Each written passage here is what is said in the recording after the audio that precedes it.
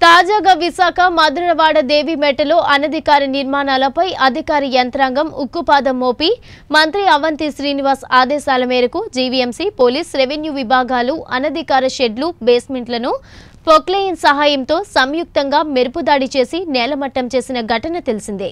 అయితే సంఘటనపై బాధిత దేవి మట్టం గ్రామస్తులు స్థానిక విలేకరుల సమావేశం ఏర్పాటు చేశారు. ఈ సందర్భంగా బాధితులు మాట్లాడుతూ ఏళ్ళ తరబడి ఈ భూమిని నమ్ముకుని కొన్ని కుటుంబాలు జీవిస్తున్నామని ఇప్పుడు ఆక్రమణ పేరుతో తొలగించడం ఏమిటి అని బాధితులు ఆవేదన వ్యక్తం చేశారు. అసలు మంది మార్బలంతో వచ్చి పథకం ప్రకారం తమ నివాసాలను నేలమట్టం చేసిన అధికారులు ఎవరు లాక్డౌన్ నిబంధనలను అతిక్రమించారో ఆత్మవిమర్శ చేసుకోవాలని ప్రశ్నించారు.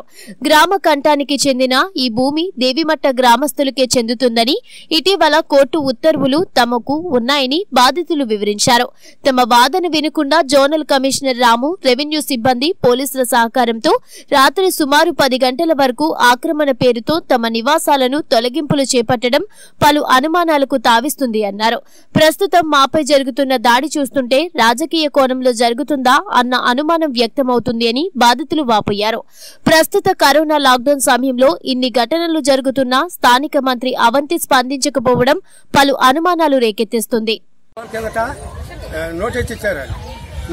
నోటీస్ ఇవ్వగానే ఆ చేపల అందినట్టుగా మేము తిరిగి ఇచ్చినాము ఇచ్చిన. తర్వాత మూడు నాలుగు రోజులు మాత్రం మా దే- మీకు రాము మా మా పని చేసుకుంటాను. పొద్దుట పొద్దుట ఇచ్చినారు రెండు రోజులు మూడో రోజు మళ్ళీ కొట్టుకున్నారు మళ్ళీ నోటీస్ తెచ్చి మా దీని డోర్కి అంటించారు. అంటించిన తర్వాత అంటించుకొని అలా అంటించుకుంటాను కదా నేను నేను అక్కడ వస్తాను అంటించుకో అంటించుకొని మనం వెళ్ళలేదు పిల్లకంటే అంటించి వెళ్ళిపోవాలి.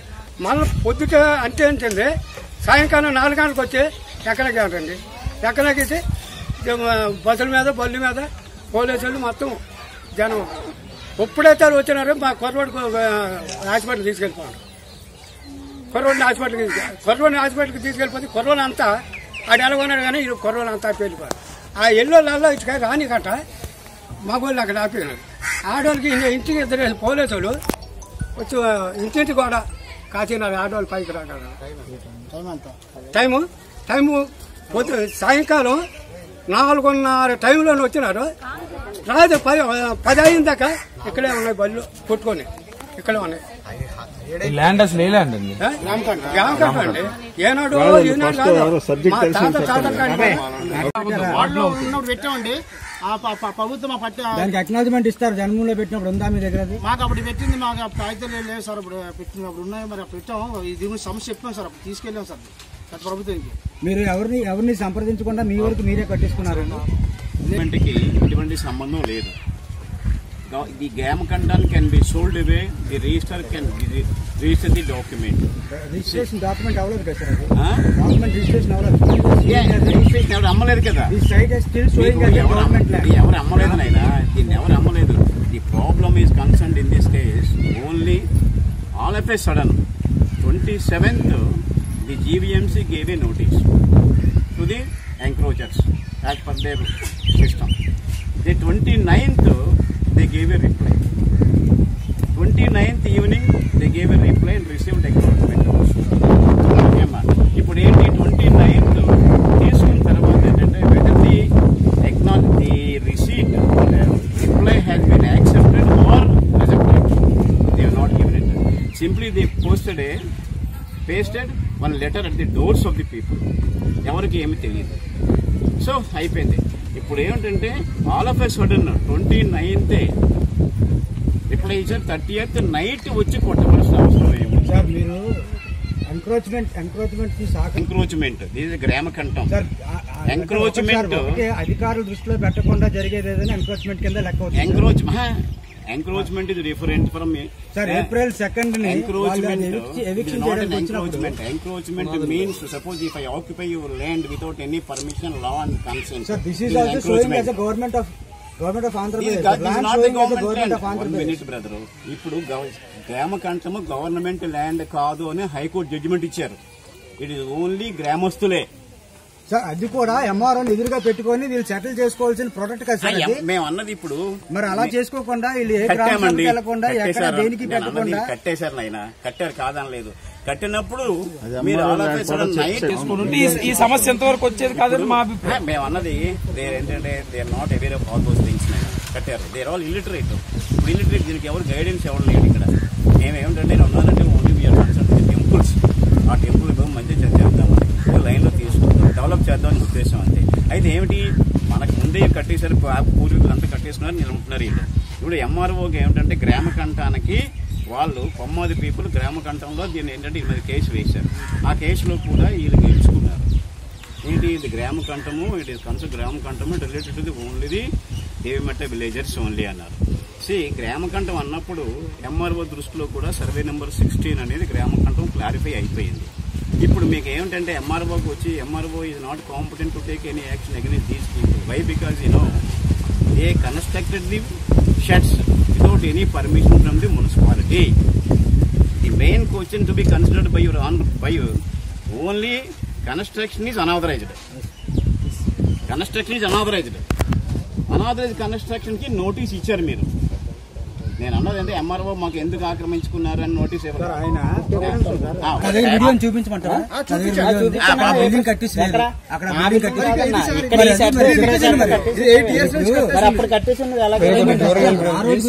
మున్సిపాలిటీకి got power to demolish it when the construction is there without any permission they got power దానికి ఏంటంటే before demolition they have to give a notice notice ఇచ్చిన తర్వాత ఎక్స్ప్లెనేషన్ కూడా ఇచ్చారు. ఎక్స్ప్లెనేషన్ ఇచ్చిన తర్వాత ఎక్స్ప్లెనేషన్ ఏమిటి యాక్సెప్ట్ చేశారా లేదా? ఓకే. నైట్ ఎందుకు మీరు వచ్చి రాత్రి ఎనిమిది గంటలకు స్టార్ట్ చేసి కొట్టవలసిన అవసరం మీకు ఏముందంట? అందులో కరోనా టైం ఇది. ఈ కరోనా టైంలో ఇంట్లో నుంచి మనిషి బయటికి ఇంత గ్రూప్ పెడితే ఇవాళ పోలీసు చూశారంటే మళ్ళీ గొడవ పెడతారు మనల్ని. కదా ఈ కరోనా టైంలో ఒకటికి వెళ్ళడానికి లీటర్కి వెళ్ళడానికే బాధగా ఉంది. బోర్ రోడ్లు ఎక్కడానికి వీలు లేదు. ఇలాంటి పరిస్థితుల్లో కొట్టవలసిన అవసరం ఏముంది? మున్సిపాలిటీకి ఎలాగ పవర్ ఉంది. వితౌట్ ఎనీ పర్మిషన్ వాళ్ళు రెగ్యులర్గా కూడా చేసుకోవచ్చు. సెకండ్ పాయింట్ ఏంటంటే they approach the honourable high court ఆ notice they approach the honourable high court ఆన్కో హైకోర్టు ఏం మొగడ సన్యాసరావు అండి. మా తాతల ముత్తాతల నుంచి ఇదే గ్రామంలో మేము నివసిస్తున్నామండి. అలాగే మా గ్రామ కంఠం పదహారు సర్వే నెంబర్ అండి. గ్రామ కంఠం రెండు ఎకరాలండి మొత్తం ఇది. ఊరు ఇది కలిపి ఒకటేనండి. సర్వే నెంబర్ పదహారు. అలాగే మేము మా తాత తండ్రి తండ్రి గారి గేదలు ఆవులు మేకలు ఇందులో కట్టుకొని పాకలు వేసుకొని కళ్ళం కింద ఉంచి ఉంచుకున్నారు అండి దీన్ని. అలాగే తాగడానికి బోరింగ్ కూడా పంచాయతీ టైంలో గత ఈ గ్రామ కంఠంలో బోరింగ్ కూడా వేసుకున్నామండి. అక్కడ మా తాత ముత్తాతలు నుయ్యి కూడా తవ్వించి ఉన్నదండి నీళ్ళ నుయ్య. దాన్ని తా తాగేవారండి. అలా నివసించి గ్రామ కంఠంలో ఈ మాకు ఆవు మాకు అందరూ యాదవ్స్ అండి మేము. మాకు ఆవులు మేకలు ఇలా పాకలు ఇలా చేసుకుని గతంలో అలా జరుగుతుంటే మేము కూడా గత రెండు వేల పద్నాలుగులో ఉద్యుత్ తుఫాన్ వచ్చిందండి. ఆ తుఫానికి మొత్తం కమళ్ళు గుడిసెలు పాకలు అన్నీ తిరబడిపోయాయండి. రేకులు నూళ్ళు రేకులు పాకలు నూళ్ళు పాకలు అన్నీ తుఫానికి మొత్తం ఎగిరిపోయండి అప్పుడు గత ప్రభుత్వం రేకుల చెట్టుకి నొడలు చేతాయి అనే వ్యక్తికి మా మా పెద్ద ఆయనకి ఒక ఐదు వేల రూపాయలు గవర్నమెంట్ ఇచ్చిందండి అలాగే తర్వాత మేము ఒక ప- పక్క ఊరికి మాకు కోర్టు చిన్న ప- పక్క ఒక ఇద్దరు రైతులు ఆ మాదని ఈ భూమి మీద వస్తే మా గ్రామ ప్రాంతం మేమని మా ఊర్లో చెప్పి మేము కూడా కోర్టుకు వెళ్ళడం జరిగిందండి. కోర్టు తొంభై రెండులో కోర్టుకు వెళ్ళామండి. కోర్టుకు వెళ్ళిన తర్వాత ఆ కోర్టు వారు కూడా భీమిలి కోర్టు వారు కూడా ఈ గ్రామస్తులదే గ్రామస్తులు చెందారని చెప్పి కోర్టు కూడా జడ్జిమెంట్ ఇచ్చింది సార్. రెండు వేల నాలుగులో ఆ, రెండు వేల నాలుగులో సుమారు ఏదో డేట్ అండి ఉందండి. జడ్జిమెంట్ కూడా ఇచ్చిందని మా గ్రామస్తులు చందన గ్రామస్తులకి ఇది ఒక్కని చెప్పి గ్రామస్తులని చెప్పి కోర్టు వారు కూడా జడ్జిమెంట్ ఇచ్చారు.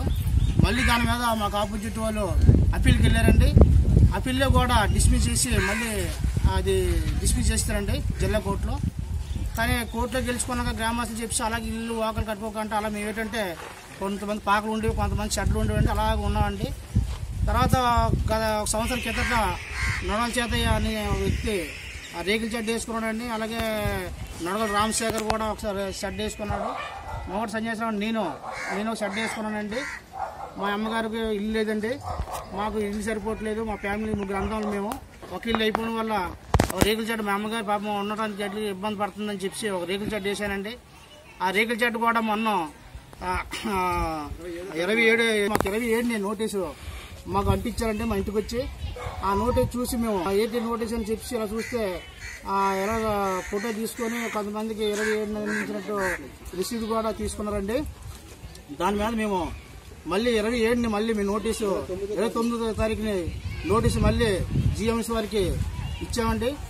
ఇచ్చిన తర్వాత మేము ఉన్నామండి. ఇన్న తర్వాత మొన్న ఇరవై ఏడు తారీఖుని ఈ జిఎంసీ మళ్ళీ వచ్చి పోలీస్ ప్రొటెక్షన్కి వచ్చారండి. వచ్చిన తర్వాత ముప్పై తారీఖున వచ్చారండి. పోలీస్ ప్రొటెక్షన్తో వచ్చిన తర్వాత ఈ గ్రామ గంటల్లో ఉన్న బేస్మెంట్లు అలాంటి కొన్ని కొన్ని కమలపాకులు ఇరవై తీసారండి తీసిన తర్వాత వెళ్ళిపోతే మళ్ళీ మధ్యాహ్నం వెళ్ళిపోయారండి ఒంటి గంటకి మాలో మా మేము కూడా జిఎంసీ అందరిని అడిగాం సార్. అడిగిన దానికి వాళ్ళు ఏమన్నారంటే మాకు నోటీసులు అందిన దానికి మేము అప్పుడు ఏం అనట్లేదు మేము కొట్టము. బేస్మెంట్లో ఉన్నాయి ఏమైతే మేము తీసేస్తామని చెప్పేసి మేము కొద్దిగా గ్రామస్తులందరం మా వాదన అనిపించిన ఇంకోగించుకుంటా పోలీసు బందోబస్తు పెట్టి తీసారండి తీసి మళ్ళీ వెళ్ళిపోయారండి. వెళ్ళిపోయిన తర్వాత మేము కూడా ఇరవై తొమ్మిది నోటీస్ కూడా మళ్ళీ రిప్లై చేసామంటే వాళ్ళకి మాకు ఇచ్చిన నోటీస్కి. ఇచ్చిన తర్వాత వాళ్ళు కూడా రిసీవ్ చేసి మాకు నోటీస్ ఇచ్చారండి తీసుకున్నట్టు. ఇచ్చిన తర్వాత మళ్ళీ సాయంత్రం అదే ముప్పై తారీఖు నైట్ ఏడు గంటల సమయంలో మా గ్రామస్తులు మొత్తం ఉన్న ఉన్న మొత్తం ఉన్నారండి ఇక్కడ గ్రామస్తులందరూ కూడా. మొత్తం పోలీసు వారు జిఎంసీ వారు తీసుకొని వచ్చి మొత్తం ఊరు చుట్టూ డెబ్బై మంది ఎనభై మంది పోలీసులు వచ్చారండి. గ్రామ గ్రామస్తులు మా చుట్టూ బౌండరీ ఇక్కడ ఎవరు రాకండి అని చెప్పి మొత్తం అందరినీ లోన్ పంపించారండి. మేము కూడా ఒక వ్యక్తి తీసుకెళ్ళి కోర్టు ఎన్నికలు వెళ్తే మా కరోనా ఎన్నికలు మా స్టేషన్లో ఉంచారండి. ఉంచిన సాయంత్రం మళ్ళీ వచ్చామండి. టే- మళ్ళీ వదిలేశారండి. వదిలేసిన తర్వాత రాత్రి ఏడు గంటలకు వచ్చి రాత్రి తొమ్మిదిన్నర దాకా మొత్తం ఈ రేకు మూడు రేకుల షెడ్లు ఆ నోటీస్ మీరు రిప్లై ఇచ్చినప్పుడు కూడా ఆ మూడు రేకుల షెడ్లు కూడా మొత్తం జేసీబీతో మొత్తం మూలమట్టం చేసేసి మాకు మనుషులు ఉన్నారు తాళాలు వేసుకెళ్ళిపోయారు కారు కూడా ఉంది సార్ అందులోనూ. ఆ కారు కూడా డామేజ్ అయింది. అలాగే మా అమ్మగారు కూడా మా మంచం సపాలు వండుకున్న సామాన్లు కూడా ఉంటుంది కూడా మొత్తం డిస్మెంట్ చేశారండి. మరి దాని మీద మా గ్రామస్తులు అందరం కూడా ఈ బాత్తో మాకు చాలా వర్షం రాత్రి గత రాత్రి వర్షం కూడా పడ్డా సార్. అంతకుముందు ఎరగొట్టినప్పుడు కూడా మాతో మా గ్రామ సమ చెప్పుకుందామని మీడియా పత్రిక ద్వారా తెలియపరుద్దామని మేము నమ్మన్నాం సార్. మాకు అలాగే వాటర్ పేషెంట్ అప్పలరాజు గారికి గత ఇలాగే ఈ జీఎంసీలు వస్తారని చెప్పి అప్పలరాజు గారికి ఫోన్ చేశాను సార్ నేను. అప్పలరాజు గారు అన్న అన్న ఏటన్నా ఇది మమ్మల్ని మా గ్రామ కంటే ఇప్పటి నుంచి కోర్టులో గెలుచుకుంది.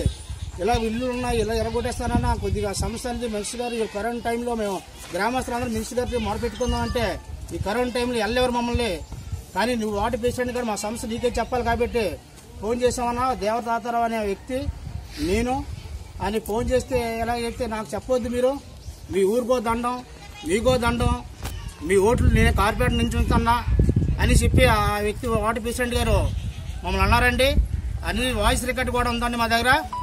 అందు గురించి మళ్ళీ మినిస్టర్ గారి దగ్గరికి వెళ్దామంటే మాకు మినిస్టర్ గారు మాకు గ్రామస్తులు ఇల్లు ఎక్కడో మాకు తెలియదు తెలియనప్పుడు కరోనా టైంలో వెళ్తే అక్కడ పోలీసులు ఇబ్బంది వన్ ఫోర్టీ ఎందుకు దాన్ని పెట్టి మేము వెళ్ళలేకపోయామండి. అని వెళ్ళిన తర్వాత సంజీవ్ కూడా సంజీవ్ కూడా ఒక మా మనిషి గారికి తాలి మనిషి అని చెప్పి సంజీవ్ కూడా ఇంటికి కూడా వెళ్ళానని నేను స్వయంగా. సంజీవ్ కూడా బాధ మా బాధ మా నలుగురు ఐదు కుర్రలు వెళ్ళామండి గ్రామం తరపు నుంచి. ఆ బాధ కూడా మొరపెట్టుకున్నాం సార్. అన్నప్పటికీ నా బాధ నిలబెట్టకంట గ్రామ కంఠంలో ఇలాగ జరవై గజాలు మనిషి మొత్తం అంతా కలిపి నలభై మంది గ్రామస్తులు ఉన్నాం. నలభై మంది కూడా అరవై గజాలు చొప్పున ఫ్లాట్లు అప్పుడు వేసుకొని కట్టుకొని అప్పుడు పక్క తాతల వచ్చి గ్రామ కంటే ఇలాగా అన్వించడం ఉందని ఇలాగ అక్రమ అక్రమంగా కట్టామని తొలగించేసి మమ్మల్ని ఇబ్బంది రాత్రి రాత్రి మీద చాలా బాధాకరం బాధాకర సార్ ఇది. అందు గురించి ఇలాగా కొన్ని అక్రమాలను కూడా ఇదే ఇదే దేమేటలో మరి ఇలాగే ఈ జిఎంసి మరి ప్రభుత్వం అలాగే రెవెన్యూ ప్రభుత్వం కూడా తొలగించిన అది ఏం ఆలోచన ఉందో తెలియదు. అర్థమవుతుంది మా గ్రామ కంఠంలో మేము కట్టుకుని రేకులు చెప్ప టెంపరీ కట్టుకుని మా అమ్మగారు ముసలాం కూడా ఉంది. ఏదో రావులమ్మ గారు అమ్మారమ్మ అమ్మ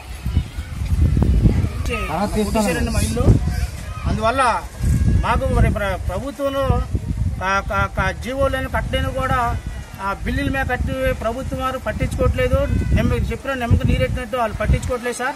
అలాగే మా గ్రామ ఎప్పటి నుంచి వచ్చినవి మా గ్రామస్తులు అందరినీ మొత్తం ముప్పై ఐదు ముప్పై ముప్పై నలభై మంది గడప ఉందని గడపలు అందరినీ కూడా ప్రతి ఒక్కరు ఉంది సార్.